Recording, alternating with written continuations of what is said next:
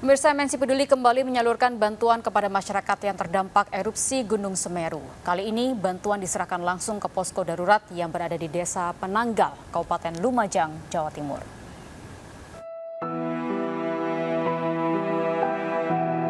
Bencana Gunung Api Semeru membuat warga harus hidup di posko pengungsian.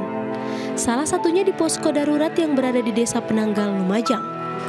Untuk memenuhi kebutuhan para pengungsi, MNC Peduli turun langsung menyerahkan bantuan berupa sembako dan makanan siap saji. Setelah erupsi kemarin gimana? Ya, takut? takut langsung lari ke sini. Ini memang, memang setiap hari di sini ya? Ya, setiap hari sini. Gimana Bu, makannya di sini gimana? Ya terjamin dah. Kamu? Alhamdulillah. Harapan kami uh, saluran ya, bantuan ini dapat uh, terlaksana dengan baik, nyampai kepada para uh, yang terkena dampak uh, bencana tersebut.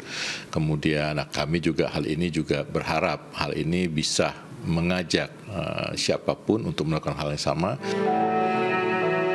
Bantuan ini merupakan bentuk kepedulian MNC Peduli kepada masyarakat yang terdampak bencana di Indonesia, termasuk di Gunung Semeru. Dari Lumajang, Jawa Timur, Yayan Nugroho, iNews melaporkan.